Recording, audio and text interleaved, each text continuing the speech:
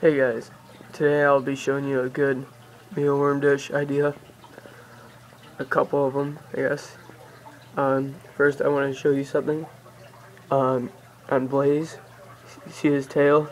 Right where the carroting is? He has actually orange, like the exact orange on his body, right there. With some violet, mean lavender, and the carrot tail orange on his tail. So it looks really, really nice and unique. So I just wanted to point that out if you can see that. It's cool.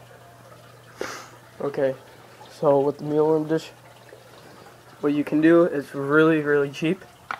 So you go to uh, Petco, PetSmart, and you get uh, uh, mealworms. And they come in a container. Uh, I don't have. Wait, yeah, hold on. They come in a container like this, or something like this. This is what mine looks like. 100 count. You can use 50 or 100. Uh, that one's 50. That one's 50. This one's 100. But what you do is you cut this at about the start of the lettering. You cut that all the way around, and then instead of just using a lighter so it's not, uh, so it doesn't cut them, just put a piece of tape all around it, like I did here. It's easier, it's quicker, and it doesn't look bad. You, you probably, well, you can notice it, but it's not bad. But it's really cheap, and it's perfect. He uses it all the all the time. He there's one mealworm in there, but uh, cause it's dry and I don't think he wants it, so I'll refill that probably tomorrow. He's so cute. Uh, see if you can see it.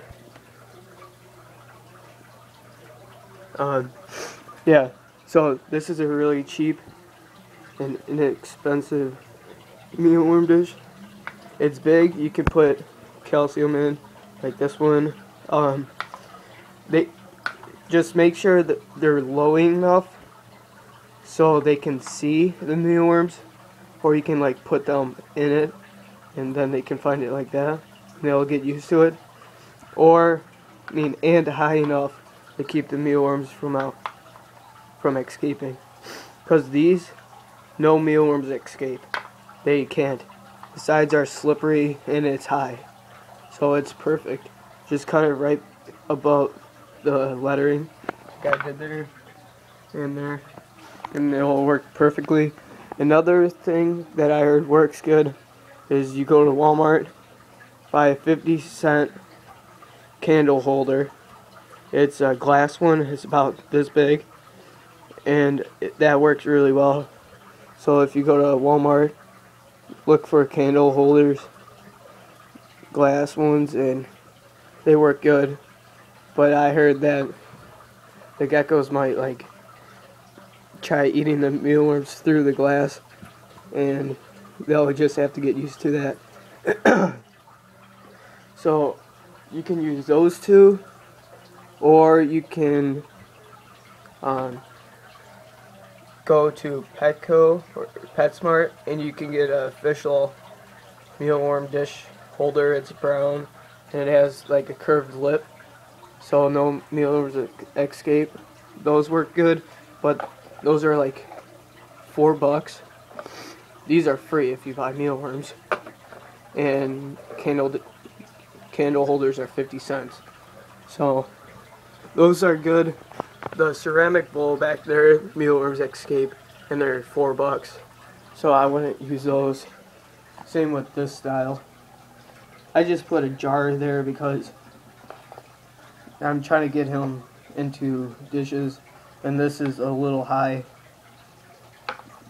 because he's lazy and he doesn't feel like searching for his food. He wants me to feed it to him.